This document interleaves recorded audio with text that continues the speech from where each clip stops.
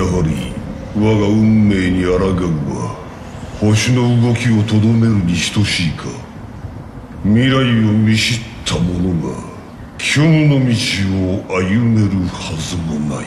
反撃の機会は幾度もあった。どういうつもりだ？懸念はいらぬ。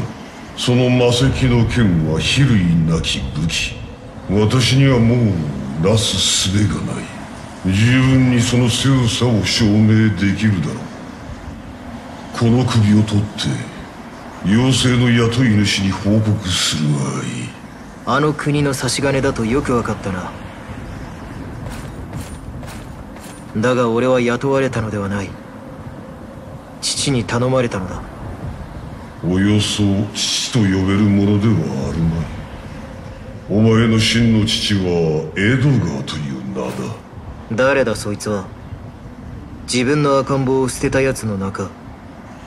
俺の父親はメルビンだけだ。人間の俺を拾って育ててくれた。忘れるな。いずれ思い出せ。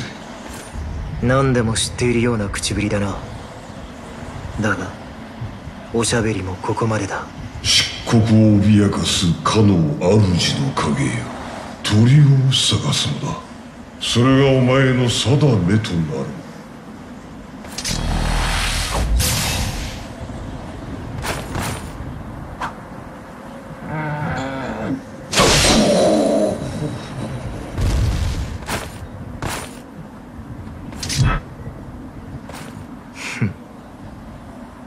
この魔剣があればメルビンの言う通り竜すらも恐るるに足らない。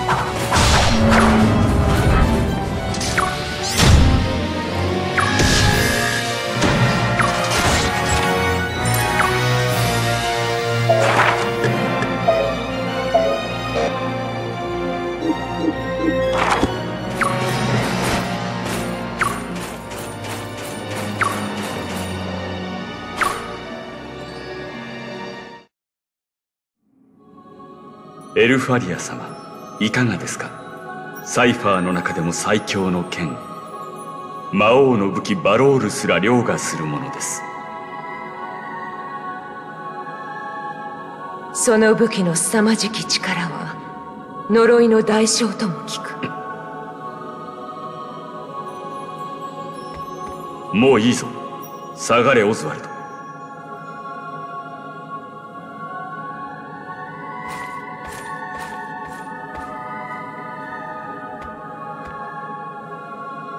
恐れる必要はございません。害は我々の身に及びはしない。闇の力ゆえにドラゴン殺しという難行をやすやすとやり遂げるのです。何ということをしてしまったのだ。噂は本当なのか。ハインデルを殺したというのは。まこと竜の鱗さえパンのように切り裂く恐るべき剣。この剣を量産すれば諸国も我らに心中を誓いましょう。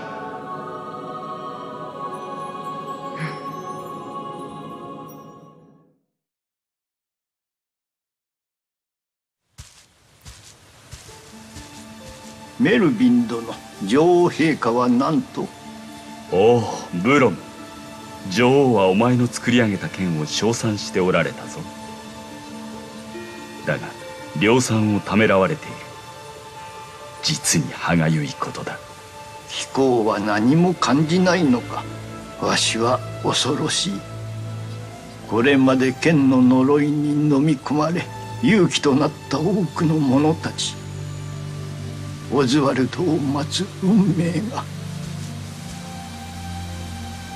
暗い顔は似合わぬぞブロムオズワルドなら大丈夫だ。見事に剣を使いこなしている。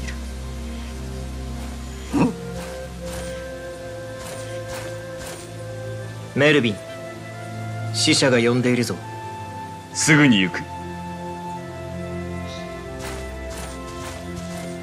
ブロムあまり深刻に考えないことだ。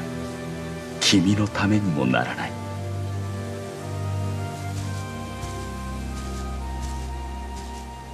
わしはあんなものを作るべきではなかった。